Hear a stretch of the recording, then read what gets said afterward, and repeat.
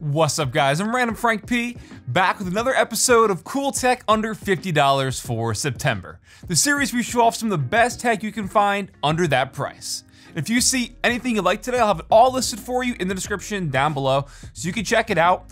But also, shout out to last month's winners. I've commented on your comment from last month's video, so check your notifications if you haven't already claimed your tech. And if you want to win today, all you have to do is drop a big thumbs up down below, leave a comment on what your favorite item is and why you like it, and then lastly, make sure you're subscribed because I'm only to pick subscribers. Now, kicking this one off, first today, how about this portable handheld vacuum? This one from Wyze could be a great addition to keep your desk set up nice and tidy. Great for cleaning up your room, keeping the car nice and spotless, all that stuff. So I know a handheld vacuum isn't the most exciting of things really, but I really am digging the overall value to this bundle. So when I first picked this up, I did buy it just for keeping the desktop clean. You know, I got a lot of moving stuff in the studio, I'm constantly filming different aspects, so I always want a nice clean appearance on camera, right? You don't want to see a dusty keyboard, I know. But I was really surprised how powerful this vacuum is. yeah. Damn. So for all your miscellaneous cleaning needs, we have an extension hose, a narrow crevice tool, a brush tool, flat nozzle, and a head adapter, plus a storage bag to keep everything in. Then when it comes time to empty and clean it, super easy as well. It has a quick release where you can just dump it out. There's also a washable filter on the inside as well. So again, not the most exciting piece of tech, I realize that, but it is something I use around the studio, so I figured it'd be worthy showing off for those who might need it. So for just around $45, you get the gist of it. Super portable and powerful, great for the bedroom setup, the desk setup, the car, anything. Next is a bit of an interesting one. This little guy is this just multi-use mini wireless trackpad mouse.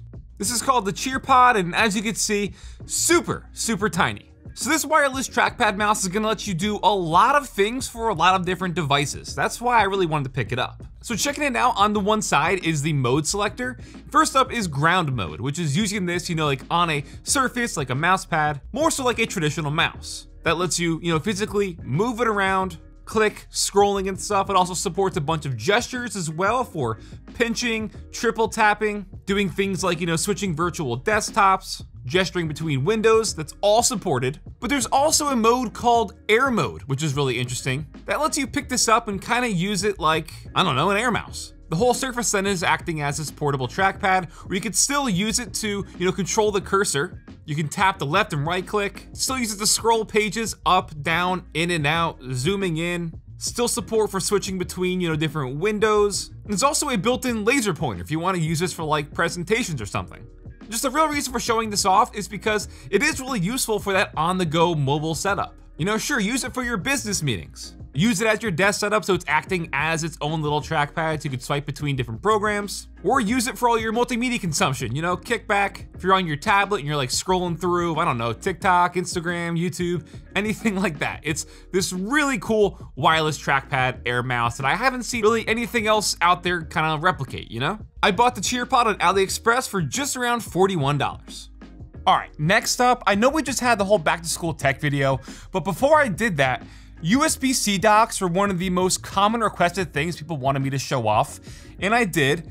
This one's a bit of a different USB-C dock. It's got a few tricks up its sleeve. So this is from DockCase, and it's called a Visual Smart USB-C hub. It's a 6-in-1 device, and it has this little screen right in the middle, which can show you some really valuable information. Things like the device and hub temperature, current speeds, and other settings. So checking out the physical features, right in the middle is a 1.3 inch display. It connects to your PC or a laptop with a USB-C port, and that's a 1000 watt USB 3.2 Gen 2 port on the front side is a USB-A port, a second USB-C as well, along with the D key, which is pretty much like the button to control this. On the top side then is a 100 watt PD port, that stands for power delivery. So this USB-C slot can be used for like quick charging and stuff for 100 watts. You then have an HDMI 2.0 capable of 4K and 60 hertz or 1080p up to 144Hz, then two additional USB-A ports. So like I said, on that screen it can show you a bunch of real-time info, like your current transfer speeds,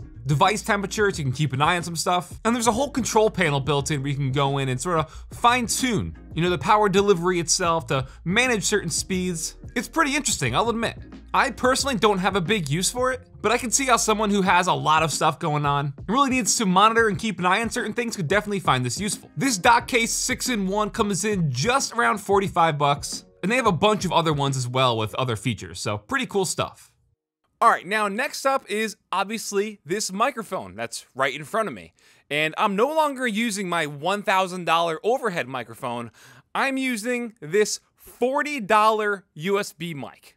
Yeah, it sounds incredible. And no surprises really, because it's from Fifine, and I've showed off Fifine USB mics before. They sound phenomenal. This newer, sleeker one Obviously, following right up where they left off, this is called the Ampligame A8. So first up, taking a look at it, it is pretty compact overall, but very sleek. I'm really digging the design here. It comes on its own adjustable stand with a pop filter and a shock mount as well, and it's available to buy in black, white, or pink color options. On the top of the microphone is a touch-sensitive mute button. So if you have to quickly kill your mic, you can just tap it. It's green when it's live, and when it's muted, the little LED up top will turn red. The whole grill of the microphone illuminates as well, so when you're talking into it, or as you can see from behind it, it's a full 360 illumination, and built in there's a bunch of different static colors, as well as two different, like, gradient cycling effects, and you can toggle between all of them with this dedicated lighting button on the backside. And then right underneath at its butt is the volume dial for controlling the gain.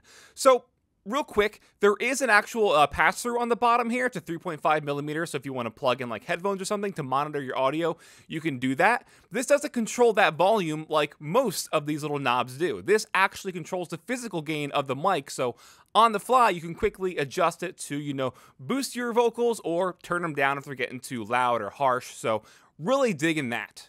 But I mean, you hear the quality of this. It sounds super good.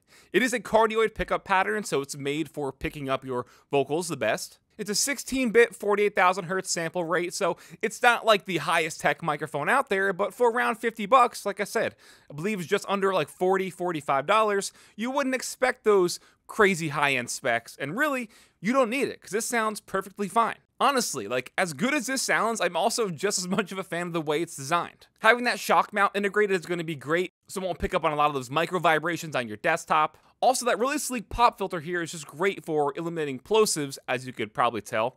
But also, the way they have it designed, it actually moves on the shock mount. So I'll demo it for you real time, but like depending on how you're talking into it, you know, what direction and stuff, you can physically move this and uh, the whole rest of the unit stays in place. Just really well made, really, really impressed. And I mean, come on, this sounds super good for just around $45. Fifine killing it yet again with the A8. All right, then lastly for today, something that I actually showed off last year in an episode of Cool Tech under $100. So you may be familiar with it. I've showed it off in my studio tour for 2022 as well because I use it, I love it, it's awesome, and now it's under 50 bucks. This is Spotify Car Thing. It's pretty much its own dedicated streaming Spotify player in this tiny compact device. So the car thing device itself is pretty much just a physical, tangible Spotify.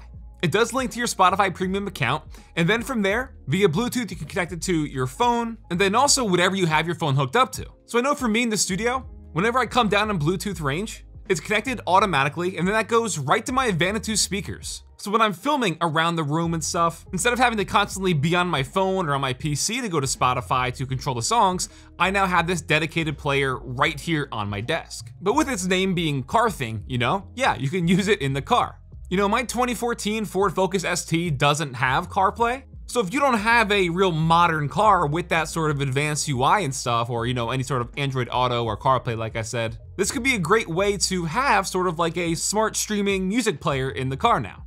Inside the box, it comes with three different mounting options. You can hook this up and you know have it mounted in your car or wherever you want to put this. In terms of physical features, it's pretty compact. It's just five inches long. The screen itself is four inches and it's also touchscreen. So you can swipe through all your playlists, you know, your like songs, all that with your finger. There's also a big old knob on the right side. You can do that to control volume as well as, like I said, swiping through playlists. There's a back button right underneath that as well. And on top of the device are five separate buttons Four of them are presets for assigning certain playlists to. The last button is also then for settings and quick muting because there's actually built-in microphones, so you can actually tell CarThing what to play. You can tell it to play certain playlists, songs, artists, anything.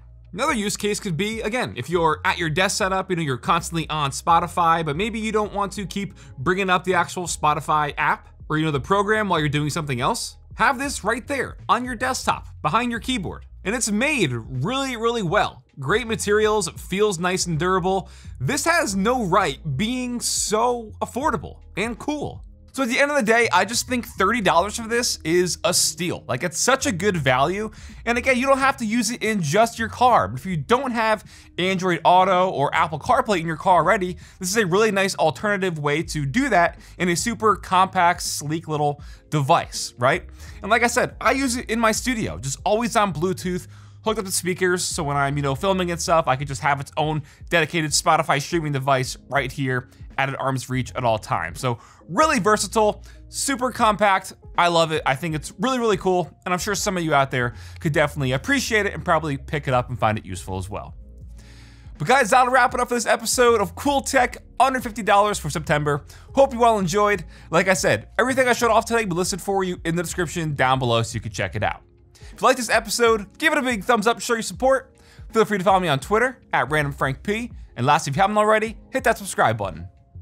Hope you all enjoyed. Have a good day.